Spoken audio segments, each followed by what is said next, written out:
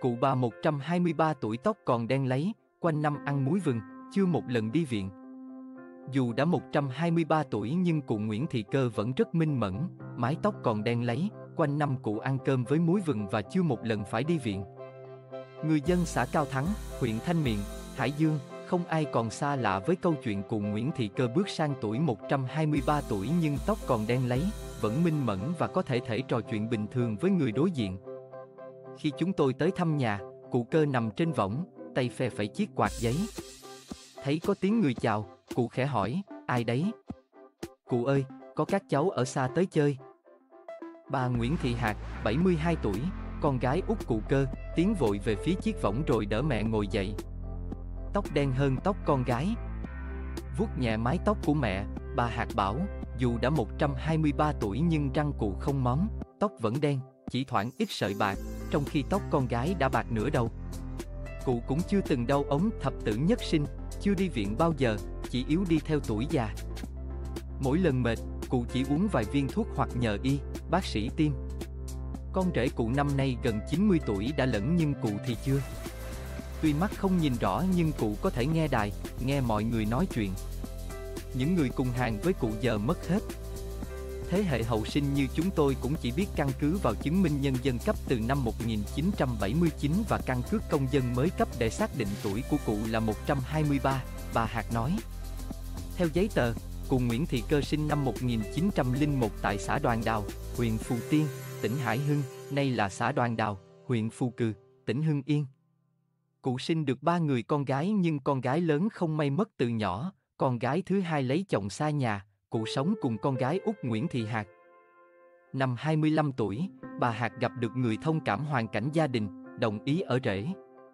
Hai người nên vợ nên chồng rồi sinh được một cô con gái. Năm 1980, chồng bà muốn chuyển về quê nội cách nhà vợ khoảng 10 km. Nhiều người khuyên thuyền theo lái, gái theo chồng, tuy nhiên nhà neo người, bố bệnh nặng, vì chữ hiếu, bà Hạc chọn ở lại chăm sóc đấng sinh thành.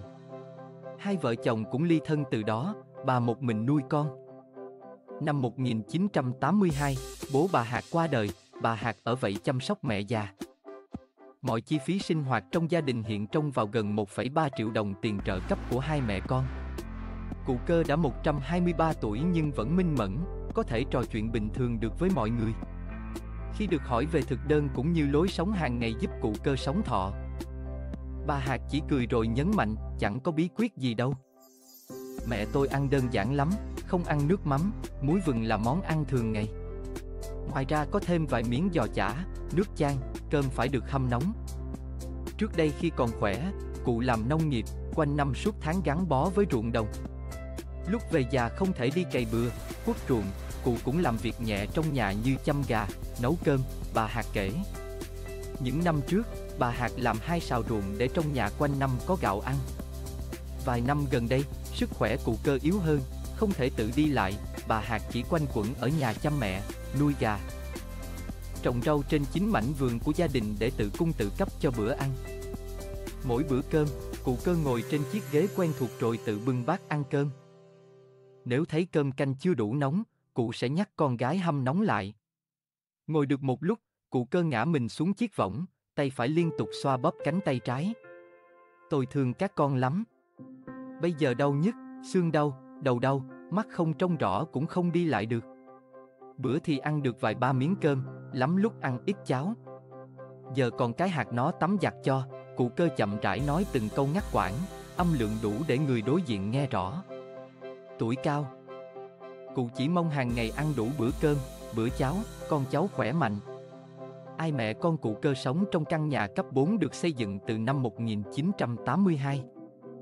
Mặc dù đã được tu sửa, lập mái chống dột nhưng căn nhà vẫn lộ rõ dấu hiệu xuống cấp, nhiều mảng vôi ở tường, chân cột bong tróc.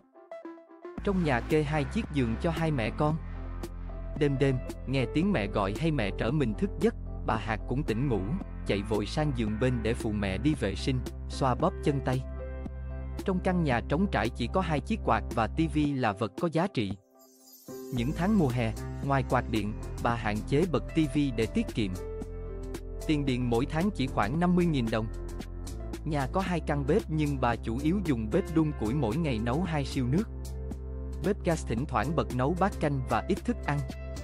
Nhà neo người, những lúc đau ốm, bà Hạt vẫn cố gượng dậy chăm mẹ. Chỉ khi sức khỏe không cho phép, bà mới gọi các cháu về trông đỡ. Với bà lão 72 tuổi ấy thì còn sức còn chăm mẹ. Từng có lúc bà Hạt nghĩ đến ngày không còn mẹ bên cạnh. Nghĩ rồi trong lòng bà là sự trống trải, hụt hẫng. Như các gia đình khác có con cháu quay quần, nhà tôi chỉ có hai mẹ con ngày nào cũng thấy nhau. Tuy mẹ không thể trò chuyện nhiều nhưng vẫn có cái bóng. Tuổi già, sống chết là chuyện bình thường nên mẹ sống mạnh khỏe ngày nào tôi mừng ngày đó.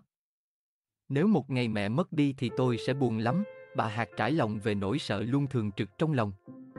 Ông Nguyễn Viết Anh, Phó Chủ tịch Ủy ban Nhân dân xã Cao Thắng cho biết, gia đình cụ cơ cũng nằm trong danh sách hộ nghèo của xã. Địa phương và ban ngành đoàn thể, tổ chức xã hội cũng thường xuyên thăm hỏi, động viên gia đình cụ trong các dịp lễ, Tết. Cụ gần như sử dụng rau, củ, quả nhà trồng để đảm bảo sức khỏe. Theo quy luật tuổi già, tóc sẽ bạc đi nhưng một, hai năm trở lại đây, tóc cụ cơ mọc đen ra.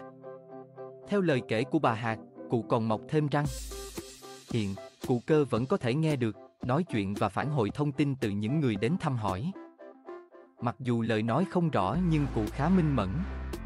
Chúng tôi rất mong cụ luôn sống khỏe, vui vẻ tuổi già, mang lại niềm vui cho con cháu để con cháu tiếp tục chăm sóc cụ sống thọ hơn, ông Viết Anh nói.